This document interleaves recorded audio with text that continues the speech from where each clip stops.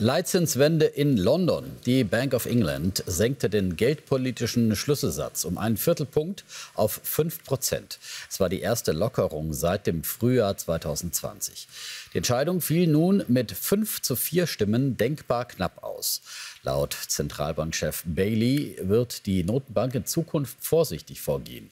Wir müssen sicherstellen, dass die Inflation niedrig bleibt und darauf achten, die Zinssätze nicht zu schnell oder zu stark zu senken, so Bailey. Die US-Notenbank hat den Weg für eine Zinswende zumindest geebnet. Die Währungshüter beließen den geldpolitischen Schlüsselsatz gestern Abend zwar in der Spanne von 5,25 bis 5,5 Prozent. Aber Fed-Chef Paul betonte, unter bestimmten Bedingungen könne eine Zinssenkung bereits auf der nächsten Sitzung im September auf den Tisch kommen. Dazu begrüße ich Carsten Junius, den Chefökonom von Safra Sarasin. Herr Junius, wie weit hat Fed-Chef Paul denn die Tür für eine Zinssenkung im September da aufgestoßen? Hallo Herr Deffner, ich glaube, die Tür ist wirklich sehr, sehr weit äh, auf. So nah waren wir noch nie an einer Zinssenkung dran. Und wir dürfen nicht vergessen, die FED uns hat uns auch äh, gesagt, dass eine Zinssenkung bereits auf der gestrigen äh, Sitzung diskutiert worden ist, aber dann nicht beschlossen wurde. Jetzt äh, was wichtig ist, was neu ist, ist der neue Fokus auf den Arbeitsmarkt. Das heißt, die FED schaut nicht nur auf die Inflation, sondern berücksichtigt ihr gesamtes äh, Mandat und sieht, dass sich der Arbeitsmarkt etwas abschwächt. Eine Abschwächung, auf die sie signalisiert, mit Zinssenkungen reagieren zu würden. Wäre eine Senkung im September dann der Auftakt für eine Serie von Zinssenkungen? Also ich gehe ganz fest davon aus, dass wir im September eine Zinssenkung bekommen werden und dass danach auch weitere Zinssenkungen folgen werden. Wahrscheinlich schon im ersten Quartal, eventuell im vierten Quartal, vielleicht auch sogar direkt vor der US-Wahl noch einmal. Denn eins hatte Paul auch klargestellt, die FED lässt sich von politischen Argumenten nicht beirren. Wir dürfen nicht vergessen, Ex-Präsident Trump hat signalisiert oder klar gefordert, dass es vor der Wahl keine Zinssenkungen geben sollten, um seine Wahlchancen äh, zu erhöhen. Die Fed hat das, äh, hat das abgestritten, gesagt, sie wird nicht auf politische äh, Risiken oder politische Entwicklungen Rücksicht nehmen, sondern allein nach ökonomischen Indikatoren entscheiden. Diese würden meiner Einschätzung nach auf den September und dann auf das vierte Quartal mit Zinssenkungen hinweisen. Sagt Carsten Junius, vielen Dank für Ihre Einschätzung. Gerne. Die Bilanzflut im DAX hat heute ihren Höhepunkt erreicht, unter anderem mit Zahlen aus dem Autosektor. BMW hat im zweiten Quartal angesichts gestiegener Konkurrenz im wichtigen Markt China weniger verdient als erwartet. Dennoch bleiben die Bayern bei ihrem Ausblick für das Gesamtjahr. Der Gewinn vor Zinsen und Steuern ging um fast 11 Prozent auf knapp 3,9 Milliarden Euro zurück. Der Konzernumsatz fiel leicht 0,7 Prozent. Im Autobau ging die operative Marge um 0,8 Prozentpunkte auf 8,4 Prozent zurück. Und die BMW-Aktie, die musste kräftig federn lassen. Am Ende des Tages ein Minus von 3 Prozent. Und dazu und zu anderen Zahlen aus dem DAX-Autosektor begrüße ich den Autoprofessor Ferdinand Dudenhöfer. Herr Dudenhöfer, verstehen Sie die Enttäuschung der Börse über die BMW-Zahlen? Ja, ich verstehe es zum Teil, aber ich glaube, es ist ein bisschen übertrieben, denn BMW läuft seit Jahren sehr, sehr, sehr stabil. Äh, man hat immer gewisse Schwankungen und diese Schwankungen, Sie hatten es erklärt, sind zum Teil China, äh, es hat ein festes äh, Produktionssystem, was äh, hervorragend läuft bei BMW und man hat mehr Elektroautos verkauft. Elektroautos, die sind eher margenzerstörend im Moment noch für BMW und für die anderen Autobauer. Also von daher ist die Sorgfalt oder die Unsicherheit übertrieben, aber BMW hat noch jede Menge Luft bei sich, Margenverbesserungen zu machen im Vertrieb. Im Vertrieb äh, arbeitet BMW zum Beispiel in Deutschland mit hohen Rabatten und das kostet natürlich ganz stark äh, Gewinnmarge.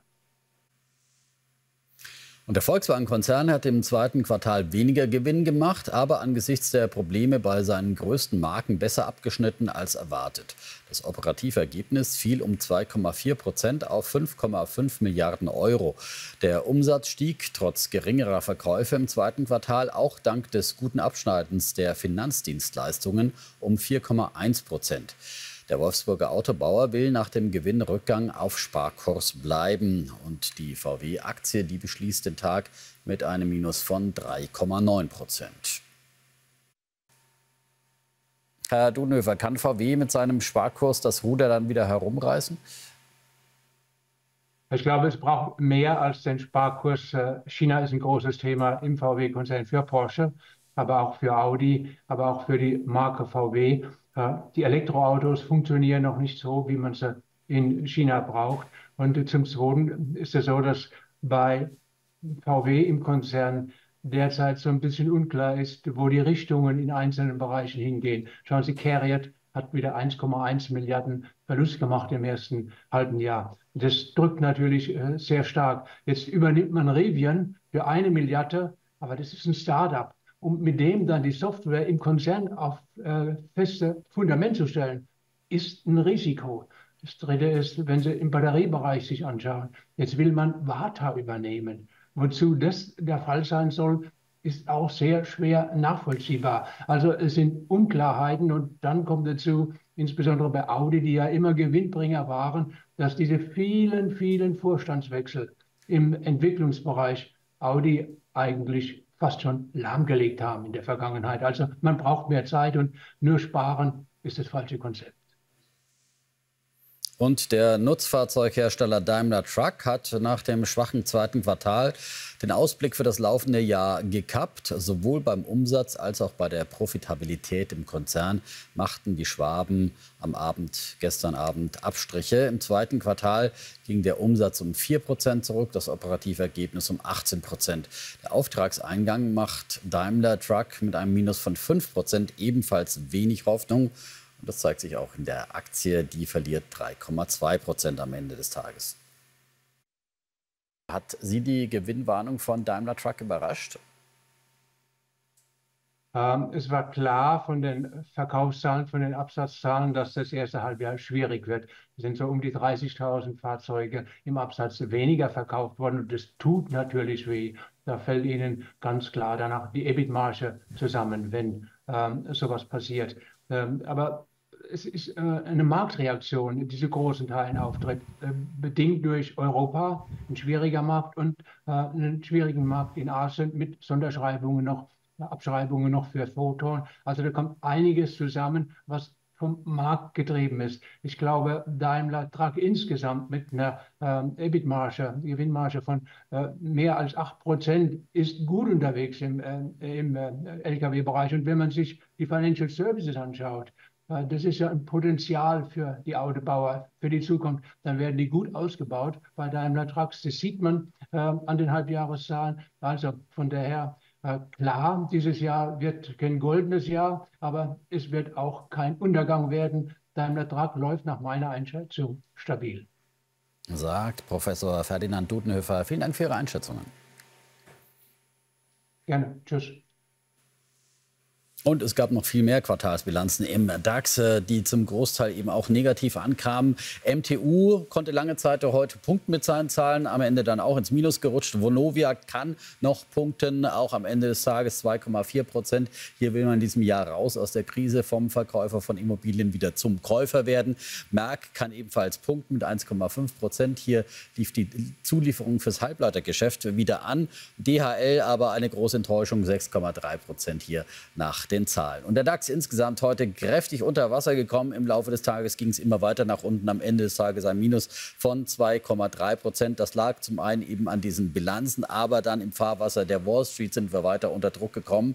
Die Wall Street, die hat erstmal positiv eröffnet, auch nach der Zinswende, die gestern zumindest angekündigt wurde in den USA. Davon hat man anfangs im Dow Jones noch profitiert. Dann aber ging es ins Minus. 16 Uhr kamen schwache Konjunkturdaten, sowohl der Einkaufsmanager-Index aus der Industrie, äh, ist äh, schwächer ausgefallen als erwartet, deutet darauf hin, dass sich der die Talfahrt in der US-Industrie beschleunigt und dann auch noch rückläufige Bauausgaben. Überraschenderweise, das äh, war die Mischung, die dem Dow nicht gefällt. Und es gab aber auch noch einen Lichtblick äh, bei Zahlen zumindest von Meta gestern nach Börsenschluss in New York. Äh, da gab es die Zahlen der Facebook-Mutter und da profitiert man von brummenden Werbeeinnahmen, ein Plus von 7 Prozent bei dieser Aktie.